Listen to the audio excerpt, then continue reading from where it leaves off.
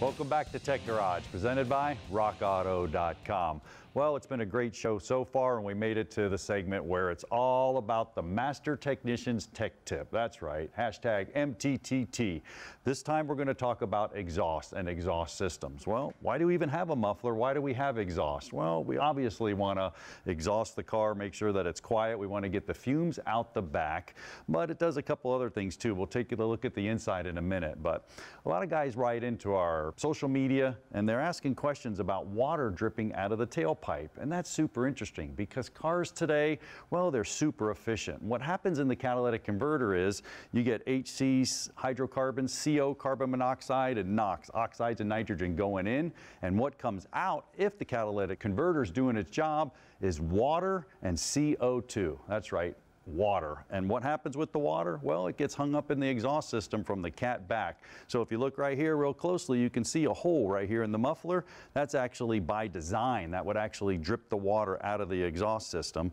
And that could cause some problems in the associated hardware, sometimes on the bolts. A lot of exhausts today are made out of stainless steel and different alloys that can handle the water, but you're getting a lot more water than usual. So let's take a look inside. I'm gonna flip this over. That's really cool.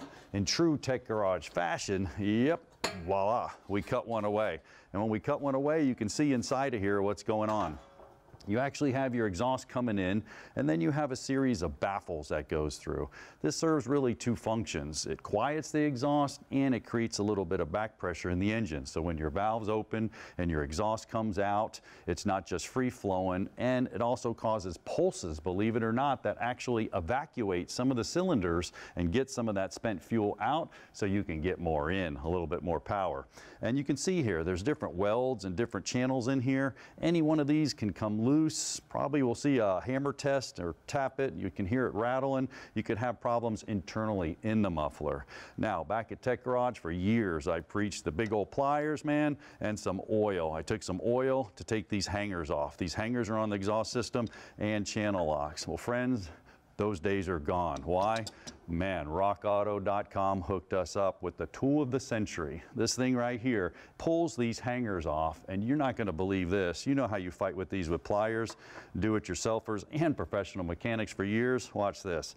Voila, easily just pops that thing off with no problem whatsoever. Goes inside of there and pops that hanger off, man. Imagine making the job that easy. Once again, exhaust tool. They always say there's a tool for that, and boy, there is for that. Now we're talking about an exhaust inspection. Now when we get to an exhaust inspection, it's important that you go through and you look at all the associated hardware, the hangers, the different gaskets, the different shields, everything down the exhaust, and you want to get to the muffler. And Josh, our resident ASE Master Certified Tech, you're actually pulling an exhaust inspection. You went from the front to the back looking at all the hangers, the shields, everything, man. What'd you find? Well, like I said, I went from the front to the back, and I was just giving it a double look over because I know this is your son's car. I just want to make sure I didn't miss it in the first time. But the first time through, I was doing my hammer test, going through, tapping on everything, and the rattle, like you said, the rattle was bad. But what I found was, can you hear that difference? Big time. That's a huge, huge difference. So let's do this. Let's replace the exhaust tip. That's obviously the problem there.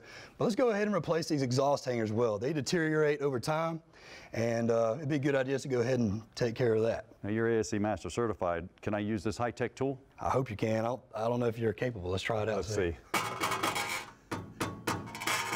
That's it. You put it in gear, you got that nasty rattle, awesome tech tip for this week, Josh, and I am capable. You are. And speaking of capable and able, we got Tom and Dave over at the table, experts when it comes to rockauto.com.